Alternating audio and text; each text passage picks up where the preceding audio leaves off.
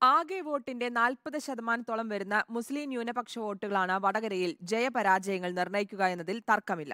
നാദാപുരം കുറ്റ്യാടി കൊയിലാണ്ടി കൂത്തുപറമ്പ് പേരാമ്പ്ര മേഖലകളിലെ വോട്ടുകൾ തെരഞ്ഞെടുപ്പിൽ നിർണായകമാകും. പൗരത്വ നിയമം നടപ്പിലാക്കിയതടക്കം അനുകൂലമാകുമെന്നാണ് എൽ ഡി എഫിന്റെയും യു ഡി എഫിന്റെയും കണക്കുകൂട്ടൽ.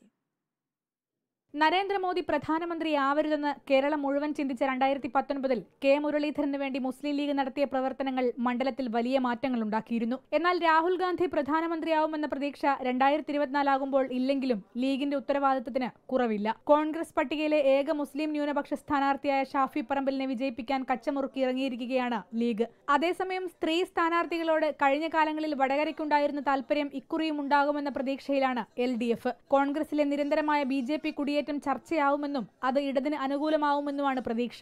പാർലമെന്റിൽ ന്യൂനപക്ഷങ്ങളുടെ ശബ്ദമാകാൻ ഇടതുപക്ഷത്തിന് കഴിയൂ എന്ന ചർച്ചയാണ് മണ്ഡലത്തിലുടനീളം എൽ ഡി എഫ് ഉയർത്തുന്നത്. സി എ കുറിച്ച് ചർച്ച നടക്കുമ്പോൾ കേരളത്തിൽ നിന്ന് തെരഞ്ഞെടുക്കപ്പെട്ടവർ പാർലമെന്റിൽ പ്രതിഷേധിക്കാതിരുന്നത് ആയുധമാക്കുകയാണ് എൽ ഡി എഫ്. ഇന്ത്യൻ പാർലമെന്റിലേക്ക് തെരഞ്ഞെടുക്കപ്പെടുന്ന എം പിമാർ അവിടെ എന്തിനു വേണ്ടി നിലകൊള്ളണം?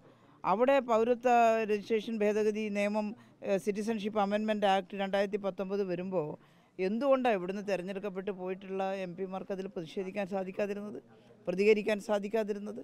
അപ്പോൾ അന്ന് തന്നെ ഇടതുപക്ഷം കേരളത്തിൽ എൽ ഡി എഫ് പ്രതിഷേധിച്ചല്ലോ കാസർഗോഡ് മുതൽ തിരുവനന്തപുരം വരെ മനുഷ്യചങ്ങല തീർത്തുകൊണ്ട് പ്രതിഷേധിച്ചു. കേരളത്തിന്റെ മുഖ്യമന്ത്രി അർത്ഥശങ്കക്കിടയില്ലാത്ത വിധം പറഞ്ഞു. പൗരന്മാരെ ഭിന്നിപ്പിക്കുന്ന ഒരു നിയമവും ഇവിടെ അനുസരിക്കാൻ തയ്യാറാവുന്നില്ല.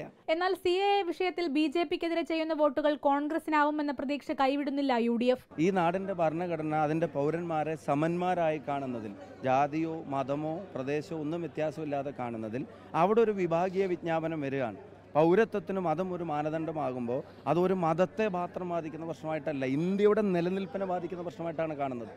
അതിൽ പ്രതിഷേധമുള്ളവർ അതിനെ പ്രതിരോധിക്കണമെന്ന് തീരുമാനിക്കുന്നവർ ജനാധിപത്യ ബോധമുള്ളവർ മതേതര മൂല്യങ്ങൾ വിശ്വസിക്കുന്നവർ അവരെല്ലാവരും വോട്ട് ചെയ്യേണ്ടത് ബി ജെ പിക്ക് എതിരായിട്ടാണ് രണ്ടായിരത്തി പതിനാലിൽ കിട്ടിയ പതിനഞ്ചായിരത്തി അൻപത്തിയെട്ട് വോട്ടുകൾ രണ്ടായിരത്തി പത്തൊൻപതിൽ അയ്യായിരത്തി അഞ്ഞൂറ്റി നാൽപ്പത്തിനാലായി കുറഞ്ഞെങ്കിലും എസ് ഡി പി ഐയും തെരഞ്ഞെടുപ്പിൽ ഒരു ഘടകമാവും. സ്ഥാനാർത്ഥിയെ നിർത്തിയില്ലെങ്കിൽ എസ് ഡി പി ഐ വോട്ടുകൾ ഇത്തവണ ഇടതുപക്ഷത്തിനൊപ്പം നിൽക്കാനാണ് സാധ്യത.